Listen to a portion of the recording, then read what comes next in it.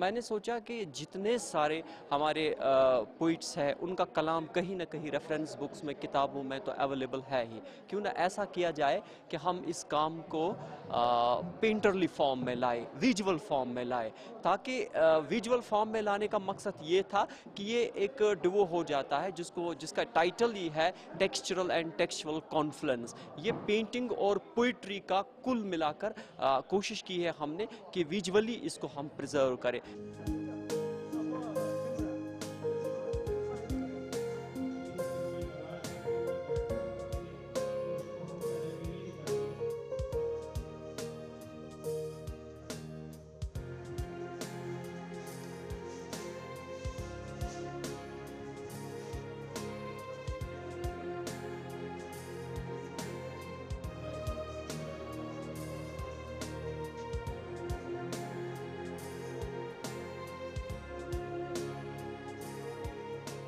पिछले दो साल से हमारे जावेद साहब इस सीरीज़ पे काम कर रहे हैं क्योंकि एक ये ख़ास इस तौर पे है कि आज तक ऐसा काम नहीं हुआ है कि जो यहाँ पे हमारे लीजेंडरी पॉइंट्स थे या आज जो ज़िंदा हैं लाइक पिछले जो हमारे समद मीर वहाब खार ललजत शेखुल आलम अपने जी ललजत तो ऐसे और जो आज के हैं बशीर दादा रफ़ीक राज वगैरह जैसे उनके शहर उन, उनके कपलेट्स उठा के एक मिंगल कर दिया इन्होंने दोनों आर्टों को।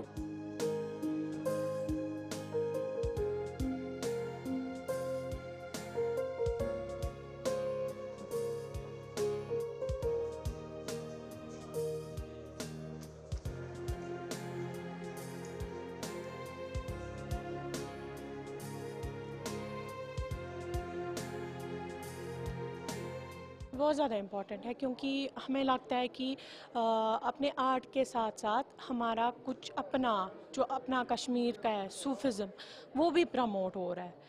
As all of us know यहाँ पे बहुत कम है जो लोग आर्ट के बारे में जानते हैं। So it's a good platform for all the artist कि अपना टैलेंट वो शो करें।